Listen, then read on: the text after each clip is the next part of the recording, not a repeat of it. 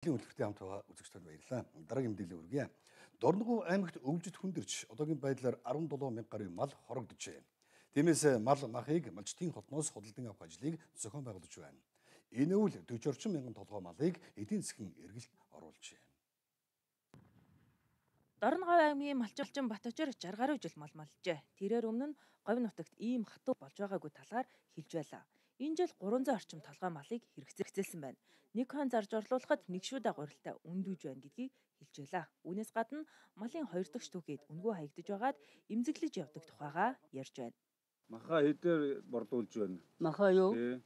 Нэг хон ер нь нэг 20 30-аас авахгүй байна. Хонь уу? За амтаа амтаар нь. Тэгээ 90 хон. Өөр өөр нэг жоохон дондор явдаг юм ин хөдөө малынхаа түүхэд энийг хэрэглэхгүй боллоо. Их сайхан юмуд хаягдчих байна. Энэ Монголынхаа суугаар л мэдээ өгдөг 8 цагт. 8 цагт Хаяг тийм нэг үтэн. И тэр хоёрыг л хараа надад. Цагаагаар нэг хар харан маргааш нөгөөд яах нь үгүй. Энэ асуудлыг шийдэхийн тулд малчтаас мал махыг шууд авах зохион байгуулалтыг хийжээ. Онгорсоор 21 мянга гаруй толгой малыг эдийн засгийн эргэлтэнд оруулжээ. Аймгийн төвдөө ирэхгүйгээр хотын төв рүү очихгүйгээр сумын төвөөсөө маха цахимаар борлуулах боломж бүрдсэн. Биржир.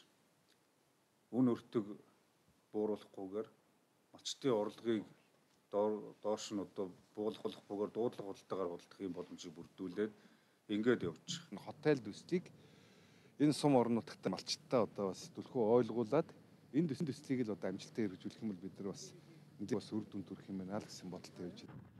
Энэ жил олон жилийн дундчтай харьцуулахад зудын эрсдэл бий гэдгийг цагуурын байгууллагаас эртнээс анхааруулж байсан. Зарим малчид үүнийг үл тоож малаа цөөлөлгүй орсноор малын хорогдол их гарч байна.